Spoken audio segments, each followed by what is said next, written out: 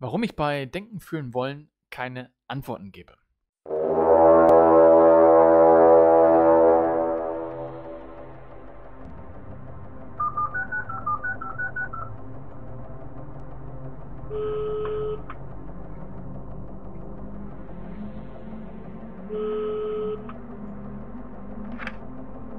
Freiheit, Gleichheit, Brüderlichkeit.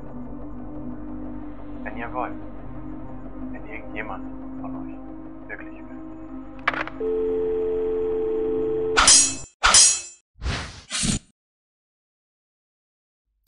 Warum ich bei Denken, Fühlen, Wollen keine Antworten gebe. Ich möchte euch in dieser Episode ein wenig näher erläutern, welche Motivation meinerseits dahinter steckt. Und gleichzeitig stimmt natürlich dieses, ja, keine Antworten geben und alleine lassen auch nur bedingt, weil ich vor drei Episoden, verlinke ich ganz gerne unter diesem Video, natürlich auch schon auf dieses Thema zu sprechen gekommen bin. Aber das hier zum Beispiel auf Geldaffirmation oder auch meinetwegen auf das Mindset zu übertragen, das ist etwas, was ich euch selber überlasse, dass ihr auch selber versucht, diese Dinge für euch im Geiste zu bewegen ja? und zu entschlüsseln. Also ich möchte eigentlich dahin kommen, dass ihr letzten Endes auch mich jetzt nicht irgendwie, ich meine, ich habe Stand jetzt, wo ich es gerade aufnehme, hier 41 Abonnenten auf meinem YouTube-Kanal. Ich habe keine Ahnung, was danach passiert. Weiß ich nicht. Aber ich habe keine Lust, ein Guru zu sein. Ja? Ich möchte Menschen um mich herum haben, die selber denken. Das ist der nächste Punkt. Ähm, Menschen, die selber denken. Diese Menschen möchte ich um mich herum haben, weil ich ganz genau weiß, dass ich selbst nicht vollkommen bin. Ja, ich denke, es wird keinen einzigen Menschen hier auf Erden geben, der irgendwo vollkommen ist. Wir haben alle irgendwo unsere Fehler, unsere blinden Flecken, die wir teilweise nicht sehen wollen. Und wenn es keine Menschen um mich herum gibt, die selber denken, sondern die immer nur denken lassen, also wenn ich das jetzt zum Beispiel mache und alles euch vorkaue, dann schaffe ich ja um mich herum keine Menschen, die selber denken. Und man kann sich das vielleicht so vorstellen, dass in dem Moment, wo wir anfangen, selber zu denken, dass wir dann uns gegenseitig auch so ein bisschen hochschaukeln können auf, andere, auf ein anderes Niveau, wo wir in noch anderen Sphären denken können. Und wenn ich der Einzige bin, der denkt, dann, ich sag mal, gibt es ja keine Sparingspartner, wenn man das so nennen möchte. Also, solche Menschen hätte ich ganz gerne um mich herum und ich denke auch, gerade dann, wenn wir uns die Gesellschaft anschauen, es braucht diese Menschen einfach. Es braucht Menschen, die anfangen selber zu denken. Und wenn wir uns vielleicht mal das ja, Zitat von Konfuzius jetzt mal kurz nehmen, der, der da ja sagt, der Mensch hat dreierlei Wege, klug zu handeln. Das erste ist durch Nachdenken, das ist das Edelste. Dann durch Kopieren, das ist das Leichteste.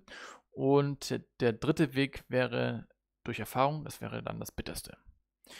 Und wenn wir uns jetzt das Zitat anschauen, dann ist es ja so, ich meine, ich animiere euch jetzt darüber, dass in dem Moment, wo ihr über Denken fühlen wollt, wenn ihr das selber sozusagen zuordnet, dass ihr selbst anfangt zu denken, dass ihr das trainiert.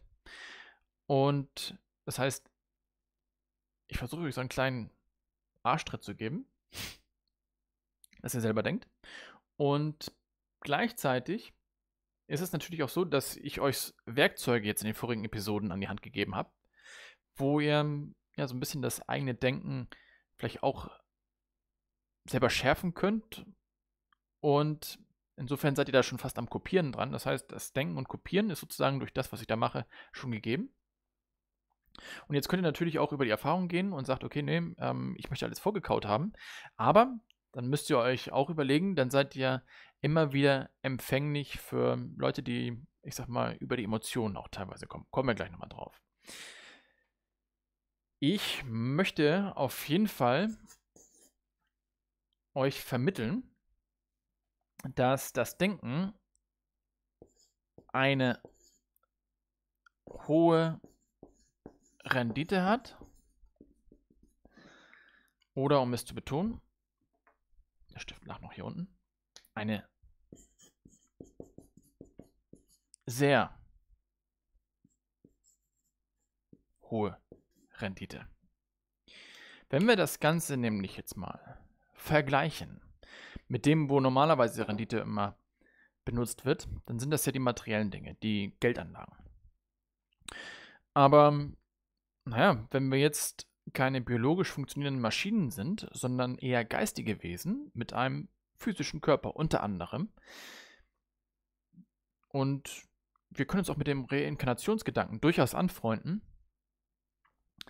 all diese materiellen Reichtümer, die ich jetzt ja in einem Leben anhäufe, die kann ich jetzt nicht mitnehmen in die geistige Welt. Und wenn ich wiederkomme, dann stehen sie mir auch nicht zur Verfügung. Also das heißt, über mehrere Leben gesehen hat dieses Renditestreben auf materieller Ebene nicht wirklich sonderlich viel Sinn. Wer weiß auch, wie das denn beim nächsten Mal hier ausschaut, keine Ahnung. Aber wenn ich anfange zu denken, was sich dann dort bei mir im Geiste tut, das kann ich ja dann durch, durchaus doch mitnehmen in die geistige Welt und vielleicht steht mir das beim nächsten Mal tatsächlich auch wieder zur Verfügung. Gleichzeitig sollte man vielleicht auch nicht vernachlässigen, dass in dem Moment, weil der Mensch ist ja Teil eines übergeordneten Organismus, eines sozialen Organismus und die ganze Menschheit wiederum ist auch Teil eines noch größeren Organismus und dann kommen wir nachher auch in geistige Sphären mit rein. Das hatte ich beim sozialen Organismus ja schon angerissen, dass wir immer etwas dienen, was einer höheren Ordnung entspricht. Und in dem Moment, wo wir anfangen zu denken, unsere geistigen Aktivitäten bemühen, werden wir mit Sicherheit auch der geistigen Welt dienen. Ja, dass dort etwas geschieht. Und in dem Moment, wo wir denen dienen, haben sie natürlich auch einen größeren Reichtum, den sie wieder, ich sag mal, auch mit uns in gewisser Weise teilen können. Also da könnt ihr euch vielleicht vorstellen, welche Synergieeffekte sich dort ergeben könnten. Also, das Denken hat eine sehr hohe Rendite. Und jetzt kann man natürlich sagen, okay, das Denken, das ist aber so anstrengend. Will ich nicht. Ja gut, die Alternative wäre dann,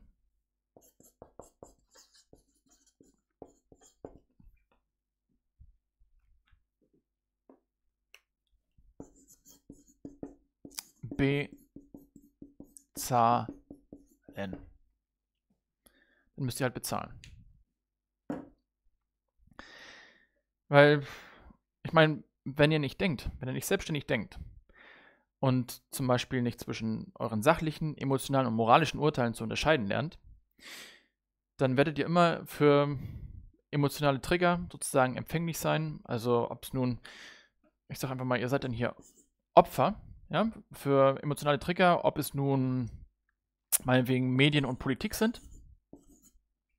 Ja, um jetzt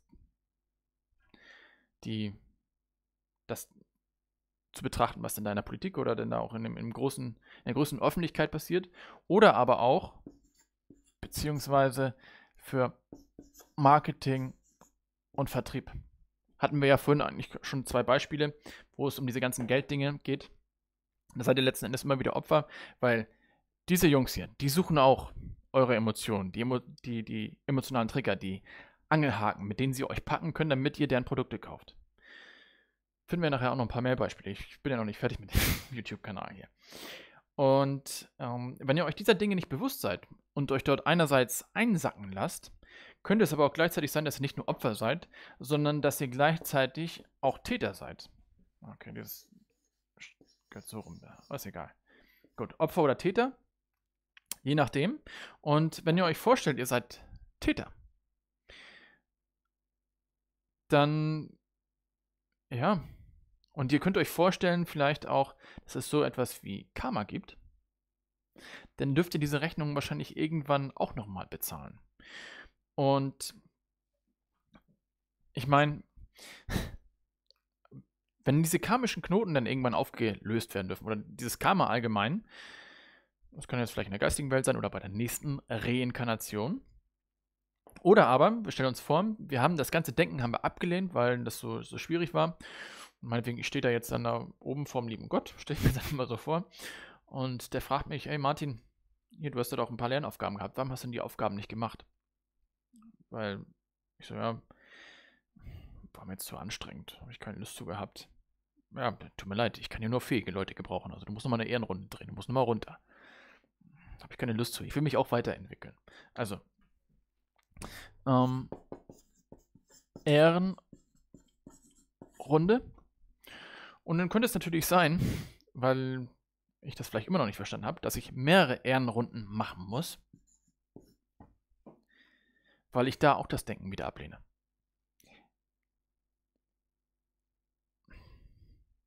Ich kann dem Ganzen nicht wirklich was abgewinnen. Vielleicht merkt ihr das an dieser Stelle. So, das heißt, ich darf nochmal sozusagen nachsitzen, während andere Leute, andere Leute ist jetzt gut, während andere Menschen oder geistige Wesen sich weiter fortentwickeln, bleibe ich irgendwo auf der Stelle stehen. Habe ich nicht wirklich viel Lust zu. Und vielleicht habt ihr diese, könnt ihr diese Unlust mit mir teilen. Ja? Dass ihr vielleicht auch Motivation findet, selber zu denken. So, und wenn wir uns jetzt zum Beispiel hier anschauen, nochmal auf der materiellen Ebene, gerade dann hier beim Marketing und Vertrieb, wo es dann ums Bezahlen geht, da werden ja manchmal ganz schön hohe Preise werden dann da verlangt. Und da könnte man euch im richtigen Moment erwischen und dann werdet ihr ordentlich bei euch ins Portemonnaie greifen müssen. Und das tut weh. Das kann ich euch sagen. Und ihr habt natürlich andererseits aber auch eine, ich sag mal, Möglichkeit, wo ihr sanfter bezahlen könntet. Also das wäre jetzt zum Beispiel bei mir selbst ein Coaching oder meinetwegen auch ein Seminar besuchen. Wobei dann natürlich, ich kann das Buch ja nochmal empfehlen, von Axel Burkhardt, mit einem Satz das Leben ändern. Die Kraft der richtigen Glaubenssätze. Darauf habe ich ja diese ganzen logischen Dinge mehr oder weniger aufgebaut, wobei dann noch andere Dinge noch dazukommen. Aber der Axel Burkhardt, der macht das eigentlich sehr gut, nach meinem Empfinden, die Inhalte von Rudolf Steiner, der Geisteswissenschaft, wiederzugeben. Er ist ja auch Logiker, Mathematiker, Informatiker. Und da passiert bei ihm auf dem YouTube-Kanal, kann ich auch gerne nochmal verlinken, passiert bei ihm auch eine ganze Menge. Und gleichzeitig gibt es dann natürlich auch nochmal ein Netzwerk, jungelo.de, verlinke ich auch gerne nochmal, wo sich auch schon Menschen treffen, die sich mit diesen Dingen näher auseinandersetzen, die einfach Bock auf Anthroposophie, Geisteswissenschaft haben und die echt Lust haben, selber zu denken. Es gibt so viele Menschen da draußen, das glaubt ihr gar nicht. Und ähm, ja, wer dann aber so persönliche Betreuung oder sowas von mir haben möchte, der kann dann natürlich gerne dann ins Coaching kommen. Oder aber auch dann Seminare, dann habe ich noch mal, haben wir nochmal den persönlichen Kontakt, können wir auch gerne machen. Verlinke ich alles nochmal hier runter. Habe ich irgendwas vergessen? Nee, sehe ich jetzt nicht. Das sollte an dieser Stelle gewesen sein. Und ich denke, wir können uns dann auch schon auf das nächste Video freuen. Das wird auch wieder ein Knüller. Bis dann, tschüss.